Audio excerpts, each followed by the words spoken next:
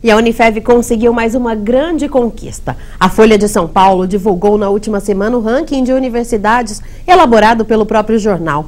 E 15 cursos da instituição estão entre os 10 melhores do interior paulista na categoria Ranking de Cursos de Instituições de Ensino Superior Privadas.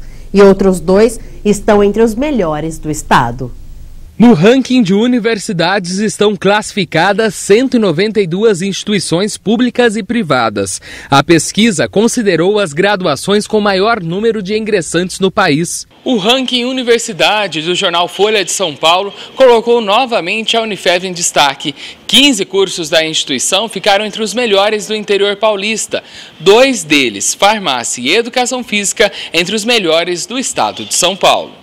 Os cursos que se destacaram foram Educação Física em segundo lugar, Farmácia e Pedagogia em terceiro lugar, Química e Medicina quarto lugar, Letras e Nutrição quinto lugar, Geografia e Matemática sexto lugar, Fisioterapia e Arquitetura e Urbanismo sétimo lugar, Jornalismo oitavo lugar, Psicologia nono lugar, Publicidade, Propaganda e Engenharia em décimo lugar.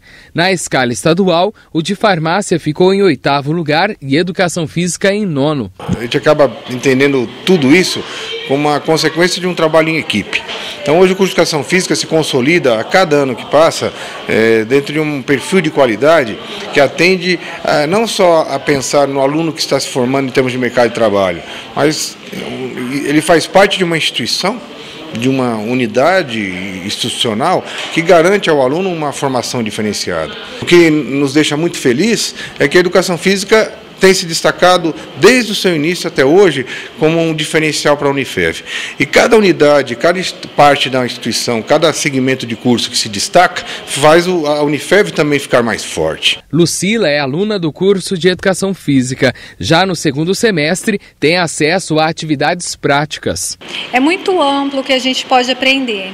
A gente tem aulas de anatomia, aulas práticas na quadra, além dos estágios que a gente pode realizar né, que é uma grande convivência com pessoas e com o trabalho que a gente vai realizar depois que a gente se formar. Quem também comemora a boa conquista é a universitária Juliana. Ela que se forma no ano que vem, vê as boas avaliações como um peso positivo no currículo. Isso é um mérito tanto para os alunos quanto para os professores que se empenham cada dia mais para que a gente atinja a excelência no curso de farmácia. E acaba pesando no teu currículo. Pesa sempre no currículo, em qualquer lugar que a gente for. Fazer uma entrevista de emprego, indústrias, farmácias.